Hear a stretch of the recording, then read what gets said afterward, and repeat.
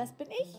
Ich heiße Jana. Und ich liebe es, um die Welt zu reisen, fremde Kulturen zu entdecken und exotische Tiere zu beobachten und durch satte grüne Regenwälder zu wandern. Irgendwann kam dann auch Werner dazu, mein liebevoll ausgebauter Citroën Berlingo XL, mit dem ich Europa erkunde. Ich habe alles ganz alleine ausgebaut. Bett, Toilette, alles drin. Abonniert meinen Kanal, um bei meinen Abenteuern dabei zu sein. Und viel Spaß beim heutigen Video. Herzlich willkommen zum neuen Video. Ich will euch kurz erinnern, letzte Woche startete die Tour mit Emily Sleep and Travel in Südafrika. Wir waren in Stellenbosch, wir waren im Löwenpark, wir haben Krokodile gesehen und Affen und heute geht es nun weiter auf unserer Tour. Wir wollen heute ein paar kleinere Weinfarmen besuchen und nach Franschhoek, wo wir übernachten werden. Dann nehmen wir den Franschhoek-Pass und am Ende des Tages werden wir vielleicht noch andere Tiere sehen. Wir sind jetzt hier in Fairview und das ist eine Wein- und Käsefarm und die schauen wir uns jetzt mal an.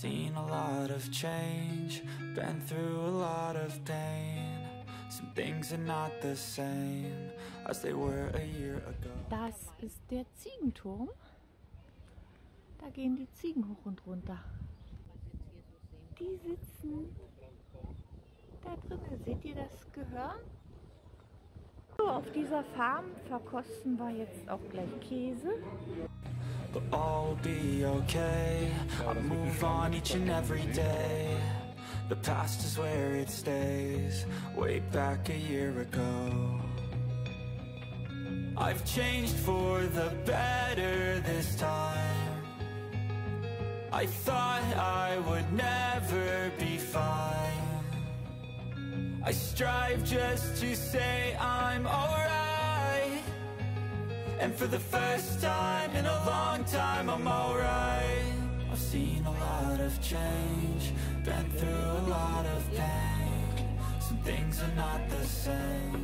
Wir sitzen jetzt hier und haben uns eine Käseplatte zum Teilen bestellt. Man kann sich hierbei sieben verschiedene Käsesorten auswählen und die Platte selbst zusammenstellen. Und so sieht es dann aus. Dazu gibt es Brot und ein bisschen Gesundes. Hier kann man auch Weinproben machen. Und immer so große Weinfässer. Und die Leute testen den Wein.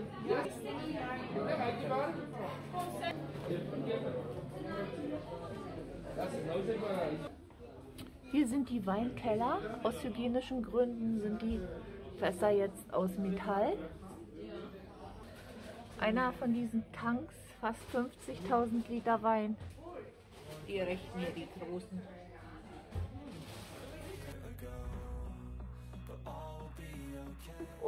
Olivenbäume. Den Pinotage hier gibt es ausschließlich in Südafrika.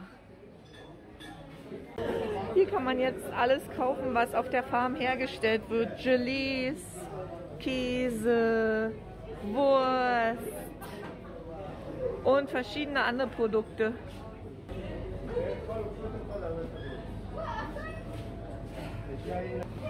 Die Produkte sind hier billiger, als man sie im Supermarkt kaufen kann. Der Käse zum Beispiel kostet hier 28 Rand und im Supermarkt kostet er 49.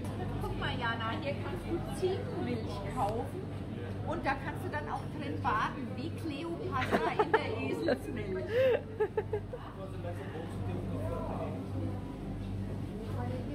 Guck mal hier. Und hier gibt es die verschiedenen Produkte aus den Fässern. Genau, aus Ist sehr populär. Ja. Äh, ja, wer, wer was auf sich hält, hat eben diese ganzen traditionellen Dinge. Jetzt kommt sie hier raus. Aber sie guckt nur ein bisschen. Normalerweise soll sie einmal um den Turm laufen. Schließlich muss sie ihr Mittagessen ablaufen. Hallo!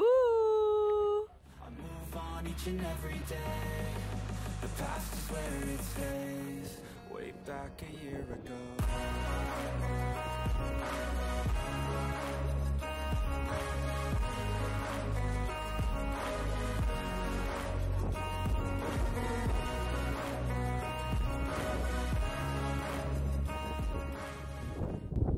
auf einem anderen Weingut, es heißt Lamotte und schaut euch mal die Megalandschaft hier an. Die Berge werden immer größer.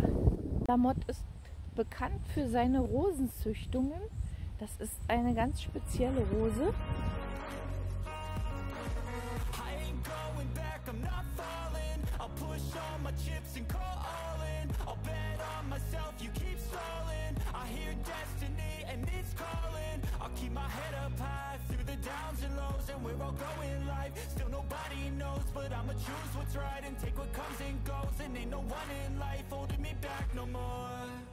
I've seen a lot of change, been through a lot of pain. Some things are not the same as they were a year ago. But all will be okay. I move on each and every day. The past is where it stays way back a year ago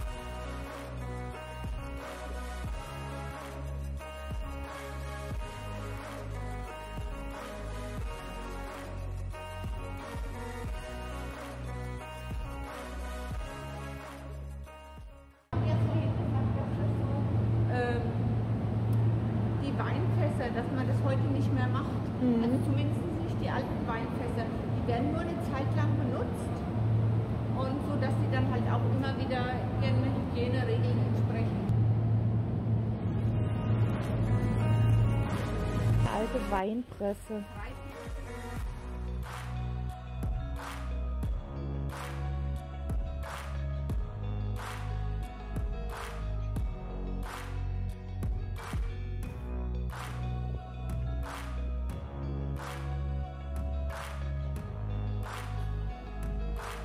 Wir sind in Franschhoek. Franschhoek hat ja den französischen Style. Wir sind an unserer heutigen Unterkunft angekommen und ja, ich zeige euch jetzt mal den Ausblick.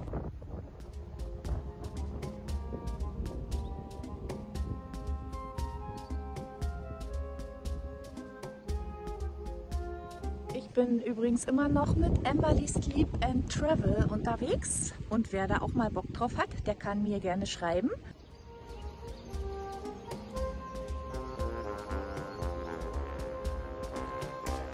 Schaut mal, wer da hinterm Baum vorguckt.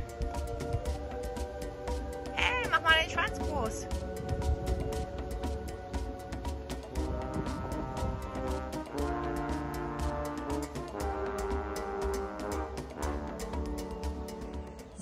Sind hier bei Mickey Finn.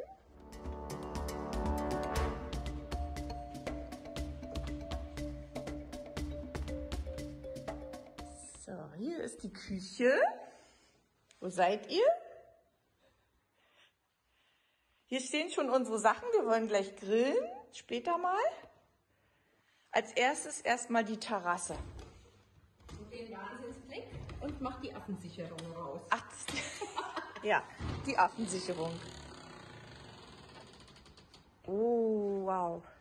Hier gucken wir heute Sonnenuntergang.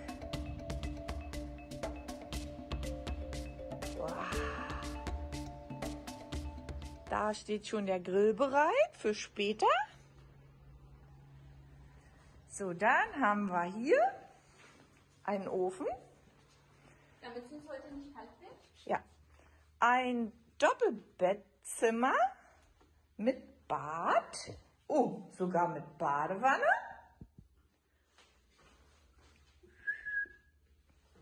Und dann haben wir hier das Kinderzimmer.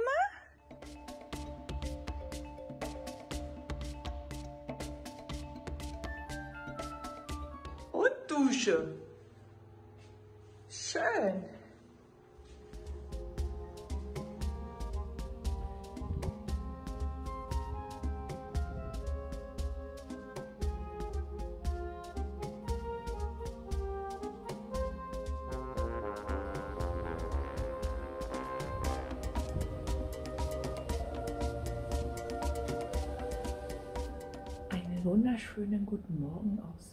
Franschhoek und ich zeige euch erstmal die Aussicht.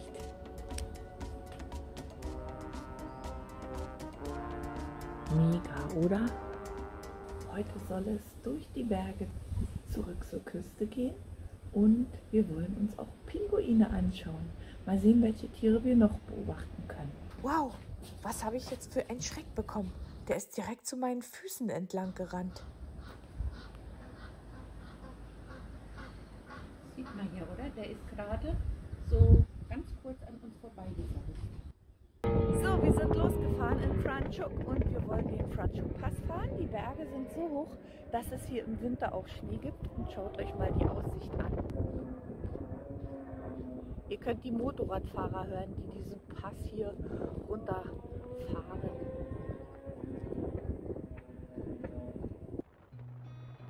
Seen a lot of change, been through a lot of pain. Some things are not the same as they were a year ago. But all will be okay. I move on each and every day. The past is where it stays, way back a year ago.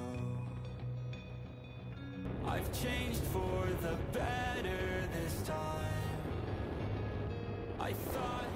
Wir gehen jetzt zur ältesten Brücke aus Südafrika. Mal sehen, ob wir sie entdecken können. Runter. Ja. Wollen wir das riskieren? Ich stehe jetzt hier auf der ältesten Brücke von Südafrika und ich traue mich nicht so dicht dran. Sie gibt wohl nach und ihr seht, dort ist schon einiges abgestürzt. Hier unten ist ein kleiner Bachlauf und schaut mal diesen Ausblick an. Mega cool, oder? Hättet ihr das in Südafrika erwartet? Unsere erste Station, nachdem wir durch mega große Farmen und Farmland gefahren sind, ist die Elgin Railway Station und ich denke, wir gehen hier Mittagessen. Den, entweder aus den Townships oder das sind jetzt natürlich hier junge Hunde, die wahrscheinlich haben sie irgendeine trächtige Mutter gefunden und dann werden die hier versorgt und werden versucht zu vermitteln.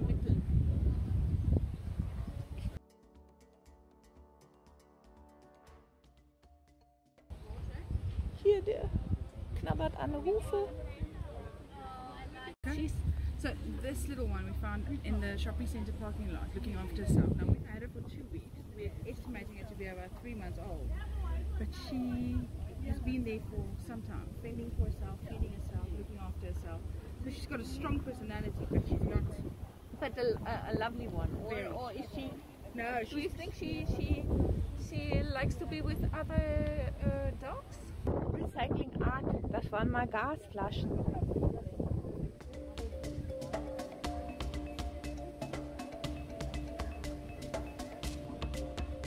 Protea. Ja, das ist eine Königsprotea hier. Die. Aus Perlen. Wow. Das ist ein alter Bahnhof, die alte Railway Station. Und es wurde ausgebaut. Hier kann man einkaufen. Hier kann man essen.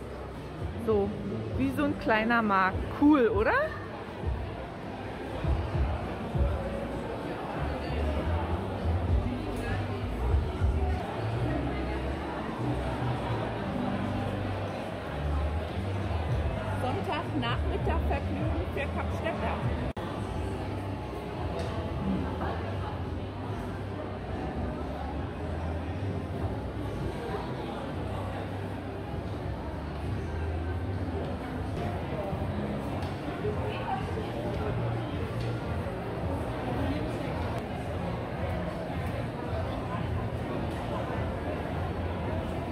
Die ausfahrbare Terrasse.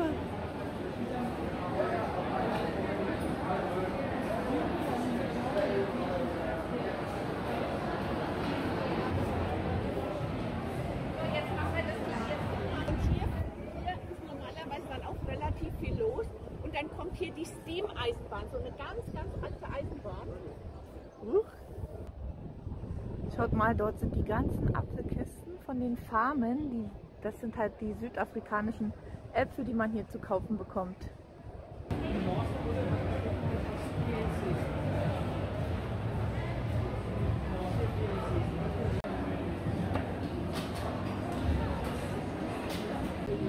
Das sind echte Protea. Zwei Stück 100 Rand? Ja. 5 Euro.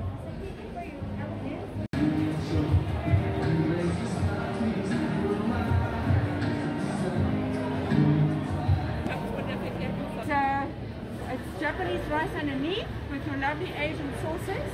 And then you've got your protein of choice, either tuna, crab prawn, Wir kriegen jetzt hier eine Kostprobe. you, you. So, hier gibt es jetzt die Früchte aus den umliegenden Farmen. Hauptsächlich sind es grüne Äpfel, die es hier gibt.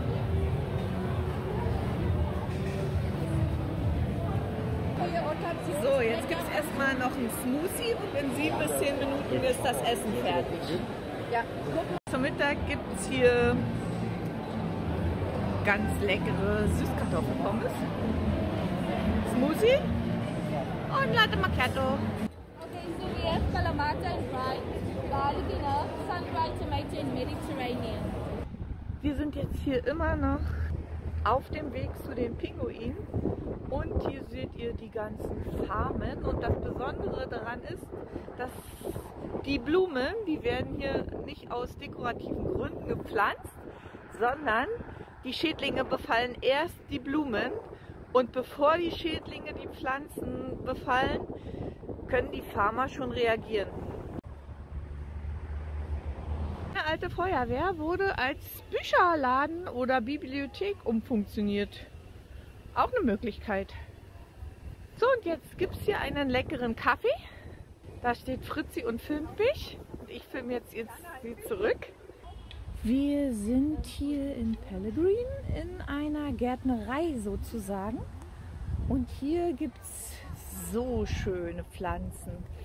Wir haben uns gerade schon unterhalten. Ich würde auch mal eine kleine mitnehmen, aber jetzt ist es November in Deutschland. Es ist nass, es ist grau, dunkel. Die würden einfach jämmerlich eingehen, die schönen Pflanzen.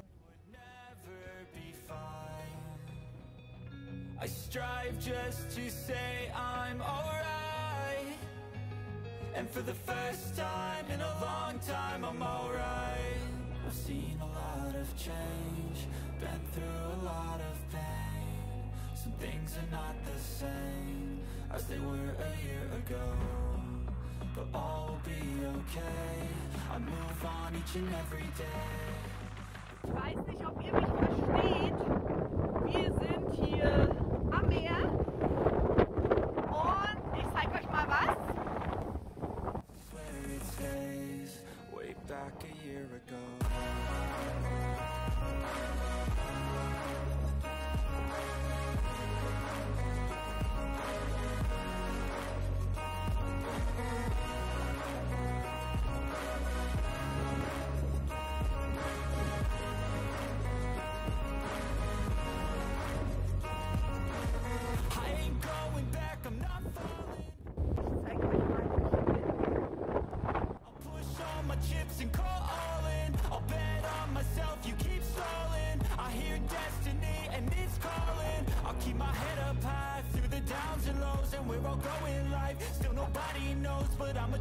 What's and take what comes and goes. And ain't no one in life holding me back no more.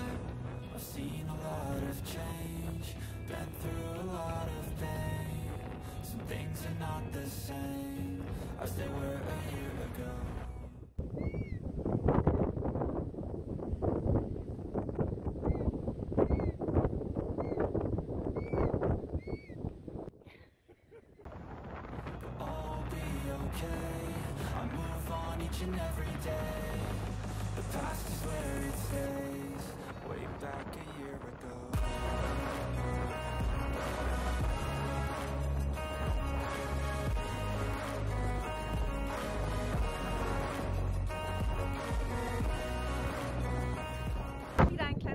Zwischenstopp und schaut euch mal den Berg hier hinter mir an. Der sieht aus, als wenn er umfallen würde.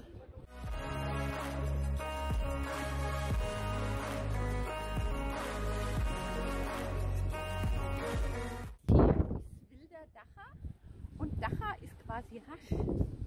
Das heißt, die Blume, die, die blüht immer so übereinander, ganz cool. Und das sieht super schön aus. Und das wird dann halt auch geraucht, wilder Dacher. Getrocknet vorher oder? Ja, ja, da sind so kleine Perlchen drin und so. Ich weiß gar nicht, ob es riecht, aber, Es riecht. aber ich finde, die sehen unheimlich hübsch aus. Ja. Wilder nachher ein paar ab und pflanzen die, oder? Schaut mal. Die laufen hier lang und die Fußgänger, die sollen sich Vorkehren. vorkehren. so, schaut mal, hier ist so ein richtiger lokaler Strand, der touristisch noch gar nicht erschlossen ist. Wie schön das hier ist, ohne Touristen. Ich bin selber Tourist. Mega, oder? Wir sind jetzt in Royals und schaut mal, das Wetter ist schon wieder ganz anders. Anders als bei den Pinguinen.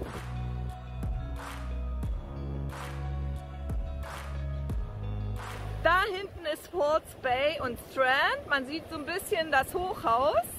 Hier ist eine Rettungsboje angebracht. Wenn jetzt hier am Strand jemand um Hilfe ruft, dann kann hier irgendjemand herrennen, die Boje abreißen und dem zuwerfen. Wir fahren jetzt die zweitschönste Küstenstraße der Welt entlang. Das ist der Clarence Drive. Und zwar fahren wir von Betty's Bay bis Gordons Bay. Der Clarence Drive ist 48 Kilometer lang, führt entlang der Kap-Wal-Küste. Auch durch das winzige Küstendorf Royals, wo wir eine kleine Pause gemacht haben. Der Clarence Drive wurde nach Jack Clarence benannt, der dafür verantwortlich war, dass der Fußweg zwischen Gordons Bay und Royals durch eine richtige Straße ersetzt wurde. Der Clarence Drive bietet jedes Jahr von Juni bis Dezember großartige Wahlbeobachtungsmöglichkeiten entlang der gesamten Strecke.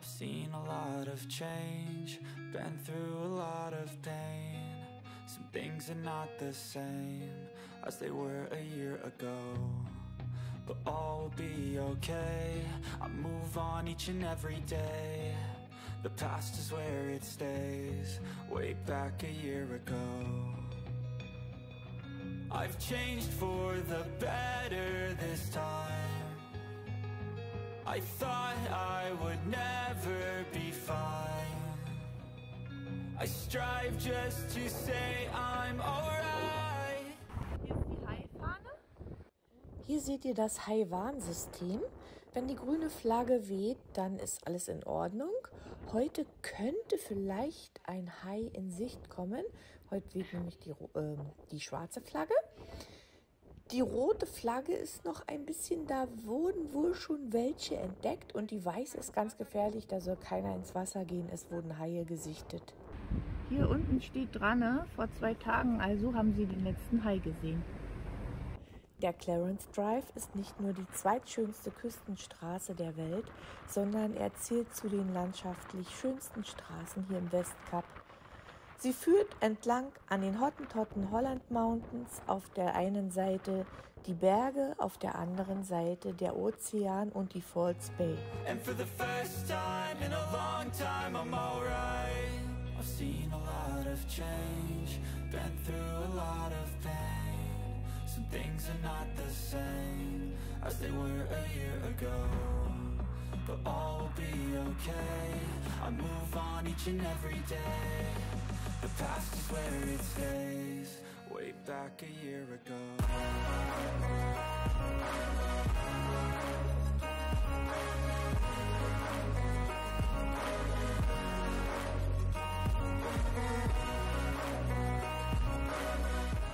Ihr seht, die Tour ist zu Ende. Ich bin zurück im Hostel. Morgen geht's wieder zur Schule. Ich muss einen Vortrag ausarbeiten über sieben Minuten. Und mit diesem Ausblick hier in Franschhoek will ich das heutige Video beenden. Hat es euch gefallen? Dann lasst doch einen Daumen hoch da. Wenn ihr sehen wollt, wie es weitergeht, einfach Kanal abonnieren. Bye.